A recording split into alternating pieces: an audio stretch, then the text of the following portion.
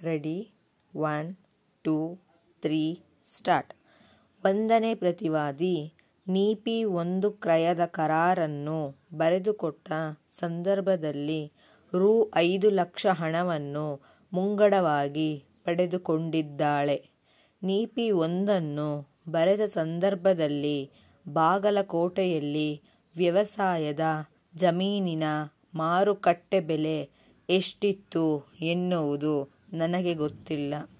ನೀಪಿ ಒಂದನ್ನು ಬರೆದುಕೊಟ್ಟ ತೊಂಬತ್ತು ದಿನಗಳ ಒಳಗಾಗಿ ದಾವಾ ಸ್ವತ್ತಿನ ಕ್ರಯಪತ್ರವನ್ನು ಬರೆದುಕೊಡುತ್ತೇನೆಂದು ಒಂದನೇ ಪ್ರತಿವಾದಿಗೆ ನನಗೆ ಹೇಳಿದ್ದರು. ನೀಪಿ ಒಂದು ಬರೆದುಕೊಟ್ಟ ಎರಡು ತಿಂಗಳ ನಂತರ ನಾನು ಒಂದನೇ ಪ್ರತಿವಾದಿಯನ್ನು ಭೇಟಿ ಮಾಡಿ ದಾವಾ ಸ್ವತ್ತಿನ ಕ್ರಯಪತ್ರ ಬರೆದುಕೊಡಬೇಕೆಂದು ಕೇಳಿದ್ದೇನೆ. ಆದರೆ ಇಂತಹದ್ದೇ ನಿಖರವಾದ ದಿನಾಂಕದಂದು ಕೇಳಲು ಹೋಗಿದ್ದೇನೆಂದು ಹೇಳಲು ನನಗೆ ಆಗುತ್ತಿಲ್ಲ. ಆಕೆಯನ್ನು ಕೇಳಲು ನಾನೊಬ್ಬನೇ ಹೋಗಿದ್ದೆ. ನನ್ನ ಜೊತೆ ಬೇರೆ ಯಾರೂ ಬಂದಿರಲಿಲ್ಲ.